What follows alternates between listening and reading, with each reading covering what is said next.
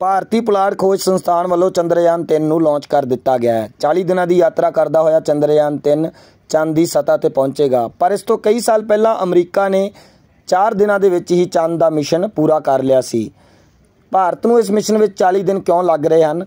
ਦੱਸਦੇ ਹਾਂ ਇਸ ਖਾਸ ਰਿਪੋਰਟ ਦੇ ਵਿੱਚ। BBC ਦੀ ਖਬਰ ਮੁਤਾਬਕ ਆਂਧਰਾ ਪ੍ਰਦੇਸ਼ ਦੇ ਸ਼੍ਰੀ ਹਰੀਕੋਟਾ ਤੋਂ ਉਡਾਨ ਭਰਨ ਵਾਲੇ ਚੰਦਰਯਾਨ 3 ਨੂੰ ਚੰਦ ਤੇ ਪਹੁੰਚਣ 'ਚ 40 ਦਿਨ ਲੱਗਣਗੇ, ਪਰ ਨਾਸਾ ਦੇ ਪੁਲਾੜ ਯਾਤਰੀ 4 ਦਿਨਾਂ ਵਿੱਚ ਹੀ ਚੰਦਰਮਾ ਤੇ ਪਹੁੰਚ ਗਏ ਸਨ। ਸਾਲ 1969 ਵਿੱਚ ਅਮਰੀਕੀ ਪੁਲਾੜ ਏਜੰਸੀ ਨਾਸਾ ਦੁਆਰਾ ਭੇਜਿਆ ਗਿਆ ਇੱਕ ਪੁਲਾੜ ਯਾਨ ਅਪੋਲੋ 11 4 ਦਿਨਾਂ ਵਿੱਚ ਹੀ ਆਪਣੀ ਮੰਜ਼ਿਲ ਤੇ ਪਹੁੰਚ ਗਿਆ ਸੀ ਤੇ ਚੰਦਰਮਾ ਤੇ ਉਤਰਿਆ ਸੀ। ਪਰ ਇਸਰੋ ਦੇ ਚੰਦਰਯਾਨ 3 ਨੂੰ ਚੰਦਰਮਾ ਦੇ ਔਰਬਿਟ ਵਿੱਚ ਦਾਖਲ ਹੋਣ ਲਈ 40 ਦਿਨ ਲੱਗ ਰਹੇ ਹਨ। ਸਵਾਲ ਇਹ ਹੈ ਕਿ ਜੇ 50 ਸਾਲ ਪਹਿਲਾਂ ਨਾਸਾ ਇੰਨੀ ਤੇਜ਼ੀ ਨਾਲ ਚੰਦ ਤੇ ਪਹੁੰਚ ਸਕਦਾ ਹੈ, ਤਾਂ ਇਸਰੋ ਨੂੰ ਇੰਨਾ ਸਮਾਂ ਕਿਉਂ ਲੱਗ ਰਿਹਾ ਹੈ? ਨਾਸਾ ਲਈ ਸਿਰਫ 4 ਦਿਨ ਕਿਉਂ? 16 ਜੁਲਾਈ 1969 ਨੂੰ ਅਮਰੀਕੀ ਪੁਲਾੜ ਏਜੰਸੀ ਨਾਸਾ ਨੇ ਕੈਨੇਡੀ ਸਪੇਸ ਸੈਂਟਰ ਤੋਂ ਸੈਂਟਰਨ 5 SA506 ਰੈਕਟ ਦੀ ਮਦਦ ਨਾਲ ਤਿੰਨ ਪੁਲਾੜ ਯਾਤਰੀਆਂ, ਨੀਲ ਏ ਆਰਮਸਟ੍ਰਾਂਗ, ਐਡਵਿਨ ਈ ਐਲਡਰਿਨ ਅਤੇ ਮਾਈਕਲ ਕਲੋਨਿਸ ਨੂੰ ਚੰਦ ਤੇ ਭੇਜਿਆ ਸੀ। ਇਹ ਰੈਕਟ ਸਵੇਰੇ 8:32 ਮਿੰਟ ਤੇ ਲਾਂਚ ਕੀਤਾ ਗਿਆ ਸੀ।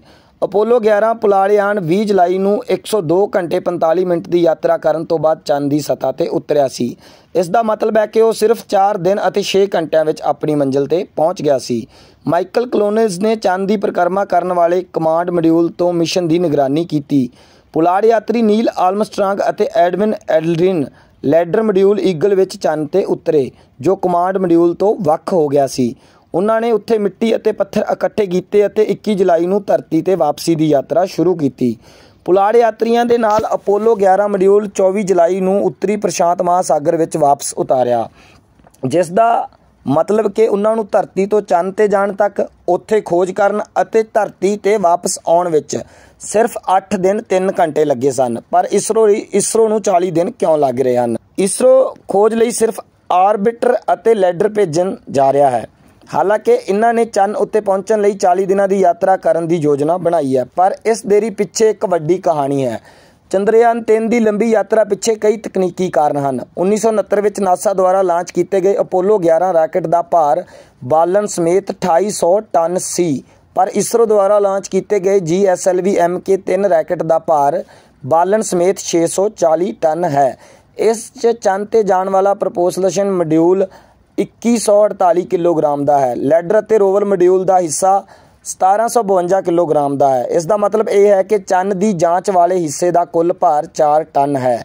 ਇਸਰੋ ਦੇ ਰਾਕਟਾਂ ਵਿੱਚ 4 ਟਨ ਭਾਰ ਚੁੱਕਣ ਦੇ ਸਮਰੱਥ ਇੱਕੋ ਇੱਕ ਰਾਕਟ GSLV Mk3 ਹੈ।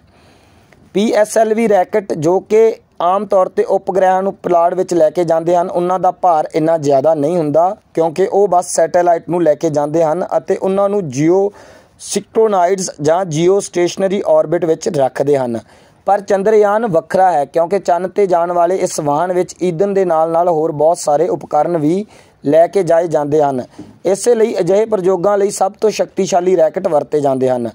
ਇਸ ਪੱਖੋਂ ਵੀ ਨਾਸਾ ਵੱਲੋਂ ਲਾਂਚ ਕੀਤੇ ਗਏ ਰੈਕਟ ਜ਼ਿਆਦਾ ਭਾਰੀ ਹਨ। ਧਰਤੀ ਦੇ ਆਰਬਿਟ ਨੂੰ ਪਾਰ ਕਰਨ ਤੋਂ ਬਾਅਦ ਚੰਨ ਦੀ ਯਾਤਰਾ ਕਰਨ ਵਾਲੇ ਅਪੋਲੋ ਪਲਾੜਯਾਨ ਦਾ ਵਜ਼ਨ 45.7 ਟਨ ਸੀ। ਇਸ ਵਿੱਚੋਂ 80% ਤੋਂ ਵੱਧ ਭਾਰ ਸਿਰਫ ਬਾਲਣ ਦਾ ਸੀ। ਅਜਿਹਾ ਇਸ ਲਈ ਕਿਉਂਕਿ ਅਪੋਲੋ 11 ਲੈਂਡਰ ਨੇ ਚੰ드ਰਮਾ ਤੇ ਪਹੁੰਚ ਕੇ ਧਰਤੀ ਤੇ ਵਾਪਸ ਆਉਣਾ ਸੀ। ਇਸ ਲਈ ਉਸ ਨੂੰ ਧਰਤੀ ਤੇ ਵਾਪਸ ਆਉਣ ਲਈ ਇੰਨੇ ਜ਼ਿਆਦਾ ਬਾਲਣ ਦੀ ਜ਼ਰੂਰਤ ਸੀ।